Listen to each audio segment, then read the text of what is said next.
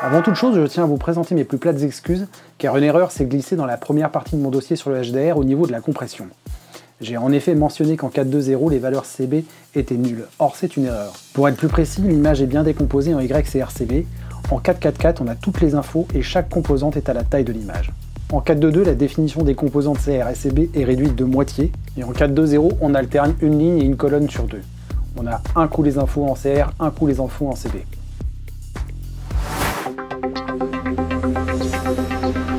Bonjour à toutes et à tous et bienvenue sur ma chaîne YouTube Le Labo de Jay, deuxième partie de cette vidéo consacrée au HDR. Et aujourd'hui j'ai encore plein de choses à vous dire. On va voir quelles sont les différentes normes de HDR, les différents formats. On va voir ce que sont ces fameuses métadatas. On va reparler des courbes OTF. Bref, encore plein de choses à voir ensemble. Mais d'abord, générique.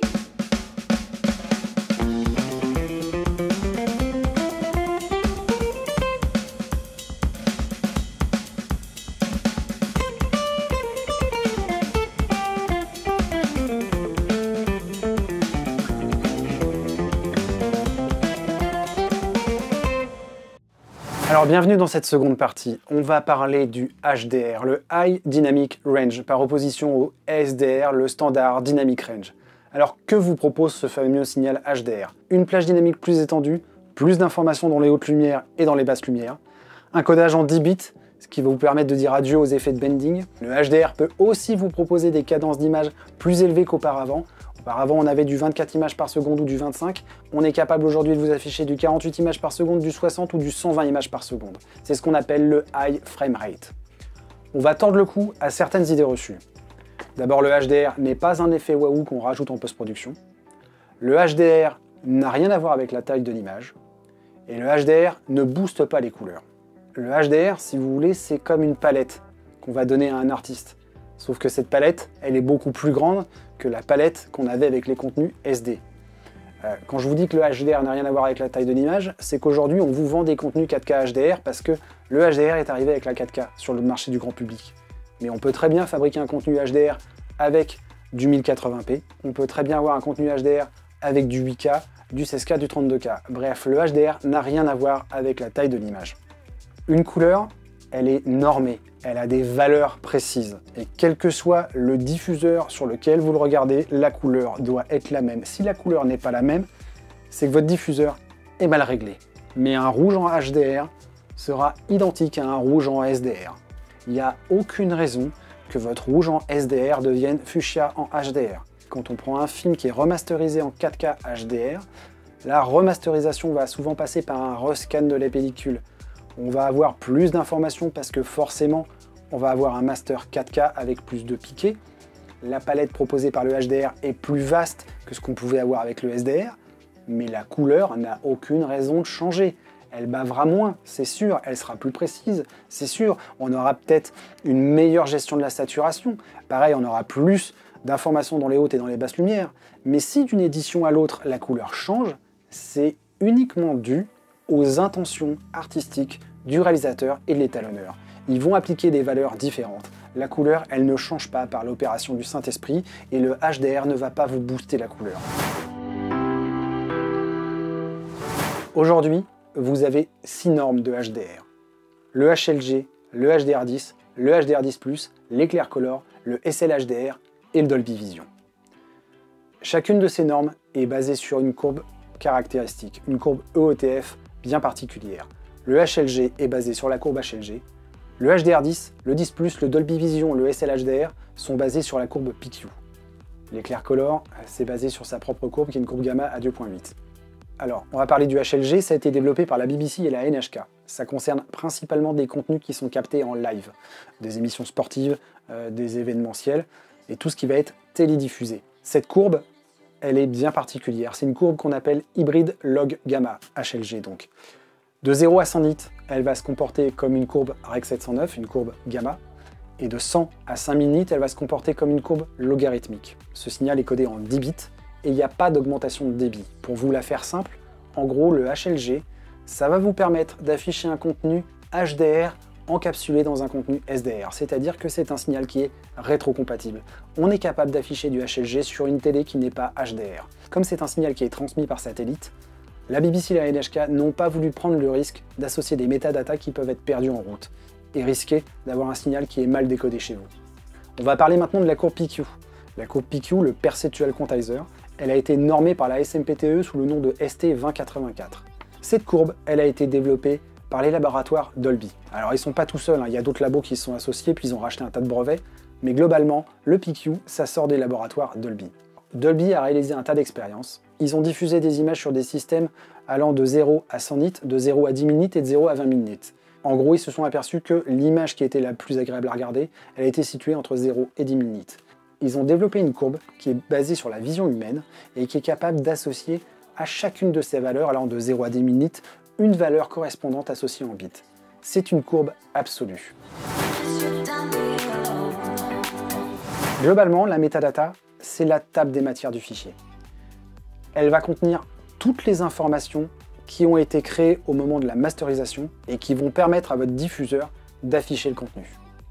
Les métadatas, il y en a de deux types, les statiques et les dynamiques. Statique, ça veut dire que vous avez une seule série d'informations qui caractérise tout le contenu. Le HDR10 se repose sur des métadatas statiques. Le Dolby Vision, le HDR10+, et le SLHDR reposent sur des métadatas dynamiques, c'est-à-dire que vous avez une série d'informations par scène. Chaque scène va avoir sa série d'informations. Alors, qu'est-ce qu'il y a dans ces métadatas? Dans ces métadatas, il y a plein de choses. Vous avez la taille de l'image, l'espace couleur, l'échantillonnage, la profondeur de couleur, le bitrate, le codec employé, la caractérisation du HDR, le type de métadata supporté, le framerate, le pixel ratio, la courbe EOTF employée, le color primaries, le color range et le mastering display luminance.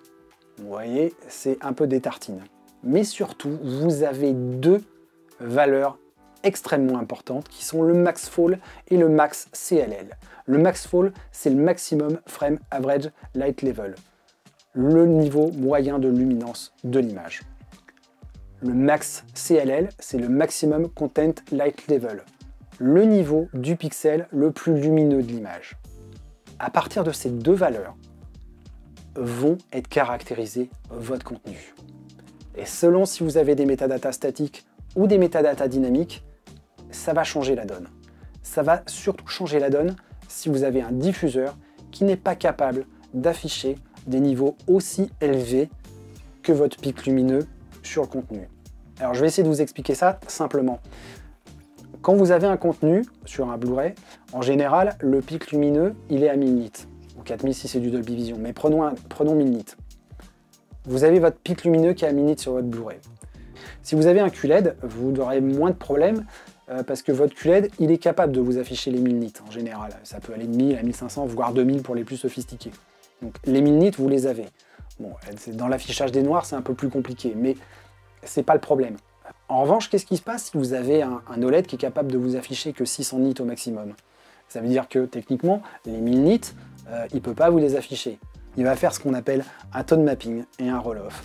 Il va prendre les valeurs lumineuses les plus élevées et les ramener à ses capacités de diffusion. C'est-à-dire que s'il peut vous afficher 600 nits, les 1000 nits, il va les ramener à 600. Mais en faisant ça, il descend tout le contenu. Forcément, vous allez vous retrouver avec des images qui sont plus sombres. Forcément, le volume de couleur, bah, il va bouger aussi parce que la luminance, quand elle bouge, bah, elle emmène la, la chrominance avec elle. Donc voilà, vous allez avoir un contenu qui va être retransformé. Quand vous avez une métadata statique, vous avez une seule information pour tout le contenu. Or, ce contenu, s'il est analysé en fonction de cette seule information, je veux dire, un film, c'est des scènes plus ou moins lumineuses et euh, toutes les scènes n'ont pas les mêmes intensités, toutes les scènes n'ont pas les mêmes valeurs euh, d'éclairage. Donc, du coup, forcément, le contenu, il va être adapté en fonction d'une seule caractéristique. Donc forcément, il n'est pas restitué de la façon la plus réaliste qui soit. Il est interprété, le taux de mapping, il est fait en fonction de ces valeurs. Alors que si vous avez une metadata dynamique, bah, vous aurez un taux de mapping dynamique, c'est-à-dire que vous allez avoir des scènes où il va être obligé de baisser le contenu, d'autres moins, et ainsi de suite. Il va s'adapter scène par scène. Vous aurez une restitution d'image qui est beaucoup plus précise si c'est des métadatas dynamiques. Tous les diffuseurs emploient des algorithmes différents pour faire le taux de mapping. Ça veut dire que d'un diffuseur à l'autre, le signal n'est pas traité de la même façon. Vous allez avoir des diffuseurs qui vont mieux se débrouiller que d'autres dans la gestion des hautes lumières. Il y en a qui vont cramer les hautes lumières, il y en a qui vont baisser toute l'image. Euh, vous avez malheureusement autant de traitements possibles que vous avez de processeurs différents. Concrètement, ça veut dire qu'une image HDR10 avec une métadata statique, si vous prenez trois diffuseurs HDR10, vous avez de grandes chances d'avoir trois images complètement différentes.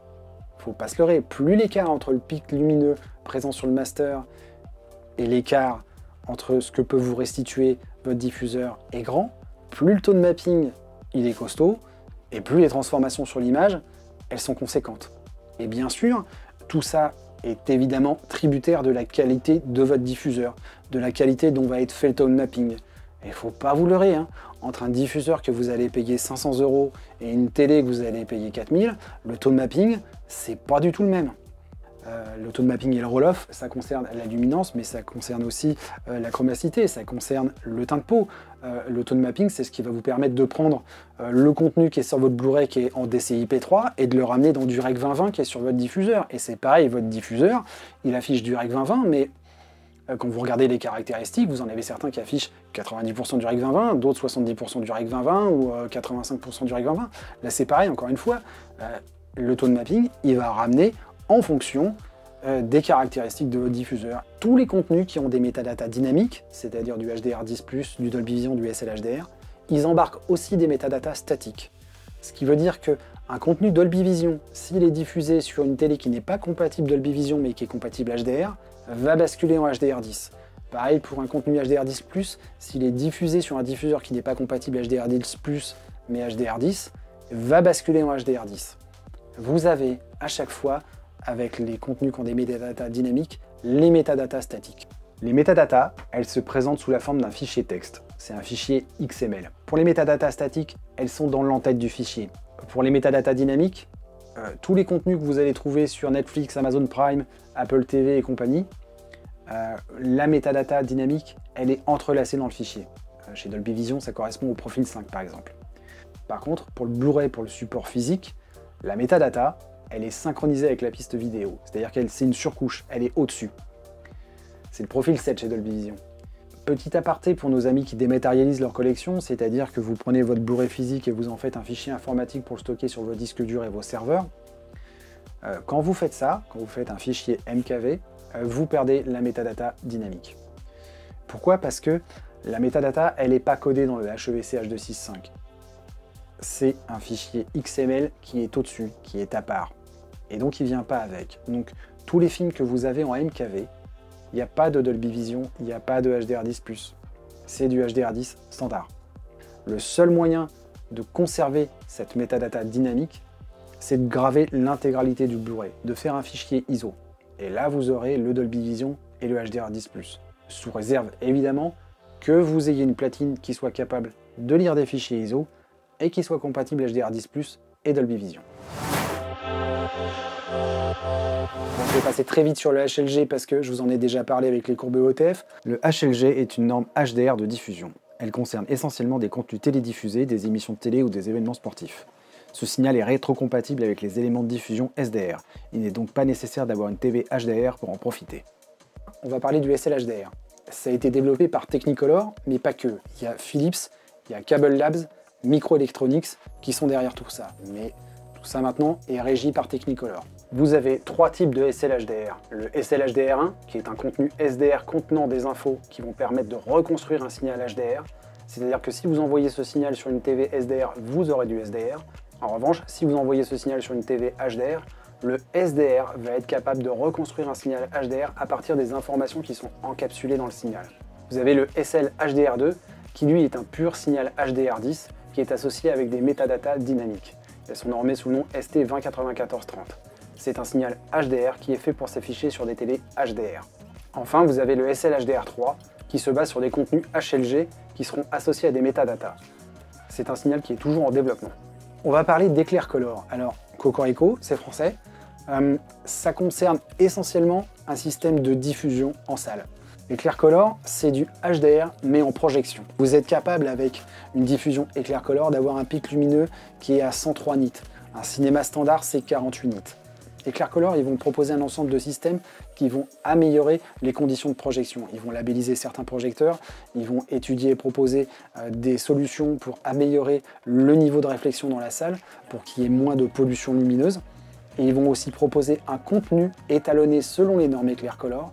Et l'ensemble de ça, ça va vous proposer une expérience qui est bien plus optimale que ce que vous pouvez avoir dans une salle de projection standard. Ils ont aussi mis en place un workflow pour remasteriser d'anciens contenus. Enfin, Color a signé un partenariat avec la société Samsung pour des intégrations de leur technologie dans des salles diffusant sur des écrans cinéma LED Onyx. Ces écrans sont capables d'afficher un noir quasiment absolu et un pic lumineux atteignant les 300 nits. On va se concentrer sur le HDR10, le 10+, et le Dolby Vision parce que ce sont les standards que vous retrouvez le plus dans les contenus que vous avez chez vous. Le HDR10, c'est le HDR standard. Quel que soit le matériel que vous allez acheter, que ce soit du matériel premier prix ou premium, il va être capable de lire du HDR10. C'est le HDR open source. Vous n'avez pas de royalties à payer si vous êtes un fabricant pour intégrer la technologie HDR10. Il se base sur la courbe PQ, il se base sur un codage en 10 bits, il est capable d'afficher des intensités allant de 0 à 10 minutes. Comme on l'a vu précédemment, le HDR10 est transporté avec des métadatas statiques, c'est-à-dire que vous n'avez qu'une seule information qui caractérise tout le contenu. Le HDR10 Plus reprend les mêmes caractéristiques que le HDR10, mais il associe des métadatas dynamiques à la place de métadatas statiques. Ça a été développé par Samsung en collaboration avec Panasonic, la Warner Bros, la 20th Century Fox et Amazon Prime. Amazon Prime, c'est l'endroit où vous pouvez trouver le plus de contenu HDR10+. Concernant les supports physiques, les contenus qui proposent du HDR10+, aujourd'hui vous n'en avez pas légion. Il doit y avoir peut-être une vingtaine de Blu-ray à tout casser. On va parler maintenant du Dolby Vision et on va s'attarder un peu sur le Dolby Vision parce qu'il y a beaucoup de choses à dire sur le Dolby Vision. Le Dolby Vision, ça se base sur un contenu HDR10 qui est associé avec des métadatas dynamiques. Les contenus Dolby Vision sont fabriqués selon un cahier des charges très précis. D'abord, tout ce qui est fabriqué en Dolby Vision l'est à partir de contenus qui sont au minimum en 12 bits. Ça peut être 12, voire 16, voire 32 les contenus Dolby Vision sont masterisés sur des moniteurs de référence qui eux aussi répondent à des normes précises. Ils sont capables d'afficher au minimum 1000 nits, ils doivent reconnaître 100% de l'espace DCI-P3, ils doivent être capables d'afficher du BT2020, la courbe EOTF ST2084. Dolby recommande plusieurs types de moniteurs. Euh, les Rolls-Royce, c'est le Dolby Pulsar qui lui est capable de vous afficher 4000 nits.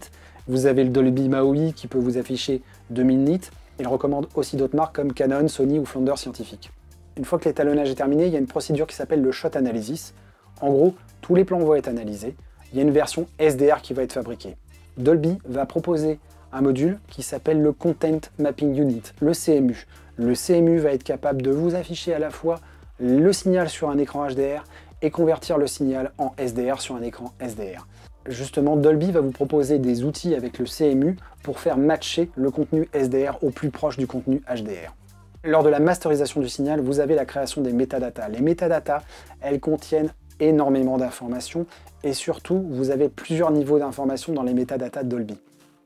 Dolby Vision va vous proposer des trims, c'est-à-dire qu'à partir de l'étalonnage final, il va prendre l'étalonnage, il va faire un tone mapping. Ce tone mapping, il va faire un trim à 2000 nits, un trim à 600 nits, jusqu'à un trim en SDR. C'est-à-dire qu'à partir du même étalonnage, il va vous proposer, grâce aux métadatas, des versions différentes adaptées à vos diffuseurs. Ce signal, il est encodé, il est envoyé chez vous sur votre télé Dolby Vision. Et votre télé Dolby Vision, elle contient un CMU Dolby Vision qui va reconnaître ces métadatas et qui va réafficher le signal. Le signal d'origine, il a été travaillé en 12 bits en 444. Ces métadatas, ils ont été créés à partir de ça. C'est-à-dire que les valeurs, les informations sur la couleur, elles ont été faites à partir de ça. Ces informations, elles se retrouvent dans les métadonnées. Les métadonnées, elles sont analysées par le CMU de la télé Dolby Vision que vous avez chez vous. À partir du master 10 bits 420 que vous avez sur votre Blu-ray Dolby Vision ou que vous avez sur votre Netflix, sur votre Apple TV, le CMU de votre télé Dolby Vision va reconnaître les métadatas, va reconnaître que le signal à l'origine, il a été travaillé en 444 en 12 bits. Il va reconnaître les informations de couleur qui sont associées à ça et va vous réafficher un signal équivalent à du 444 en 12 bits sur votre télé. Le décodage du Dolby Vision s'est fait de façon extrêmement précise. Le CMU va vraiment vous restituer un signal de la façon la plus fidèle qui soit. Il va désactiver tout ce qui sert à rien dans votre télé, tout ce qui peut parasiter le signal, il va le désactiver de manière à restituer ce qui a été vu et validé en salle d'étalonnage. C'est la magie du Dolby Vision. Si vous voulez restituer votre image de la façon la plus fidèle qui soit, il faut faire calibrer votre télé. La calibration, ça se passe de la façon suivante. Euh, il y a une personne qui vient chez vous avec des outils qui sont un spectromètre, un colorimètre. Il va envoyer un signal sur votre télé, euh, rouge, vert, bleu et blanc. Et ces images, elles vont être analysées par le spectromètre et le colorimètre. Pour vous la faire simple, le rouge qui est envoyé sur votre télé, il correspond à certaines valeurs de diffusion, à certaines normes. Si les normes qui sont mesurées par la sonde ne sont pas correspondantes aux normes de diffusion, il faut faire recalibrer votre télé. Ça veut dire que la couleur, elle a dévié, la calibration, elle a dévié. Pour faire ça, ces valeurs, elles sont analysées, elles sont envoyées dans un logiciel qui va recalibrer qui va créer un fichier 1D ou 3D qui va permettre de recalibrer la couleur. Ce fichier il va être envoyé à votre télé et votre télé elle va être recalibrée de cette façon. Alors ça c'est dans le meilleur des mondes, c'est dans le cas où votre télé elle est calibrable. Euh, si c'est pas le cas, euh, ben, du coup euh, la calibration ça se fait à la télécommande avec les menus de la télé en mesurant la sonde. En gros pour simplifier c'est comme si ce logiciel fabriquait une mini courbe EOTF pour réafficher la couleur correctement. voilà c'est terminé pour aujourd'hui. J'ai été encore très bavard, je vous ai encore raconté des tas de choses, j'espère que vous n'avez pas le cerveau qui fume. On va se retrouver très vite pour une troisième partie où là, ça va être passionnant. On va mettre les mains dans le cambouis, on va décortiquer des contenus, on va analyser de l'image, du Blu-ray, des images que j'aurais filmées. Vous allez voir, ça va être passionnant. Mais d'ici là, portez-vous bien et je vous dis à très bientôt. Allez, un petit cadeau bonus, voici la répartition des différents formats HDR selon les pays, les marques, les studios partenaires, les diffuseurs et ainsi de suite. Je vous laisse faire pause sur la vidéo parce que comme vous pouvez le voir, c'est d'une simplicité à toute épreuve, comme le HDR.